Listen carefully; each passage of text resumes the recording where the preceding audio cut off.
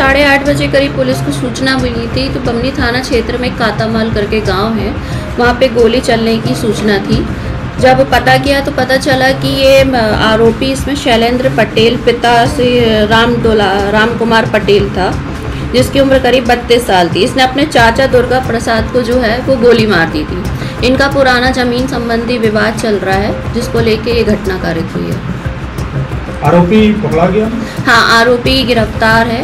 एक पुलिस की टीम ने जो है शीघ्र ही तत्परता से कार्रवाई की और आरोपी को वर्तमान में गिरफ़्तार कर लिया गया है। घायल की क्या स्थिति है? घायल को फ़िलहाल जबलपुर रेफर किया गया है और वैधानिक कार्रवाई अभी चालू है इसमें